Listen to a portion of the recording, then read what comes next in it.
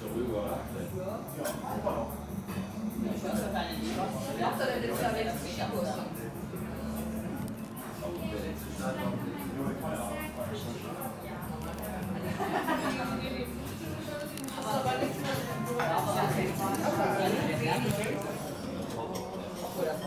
Yes.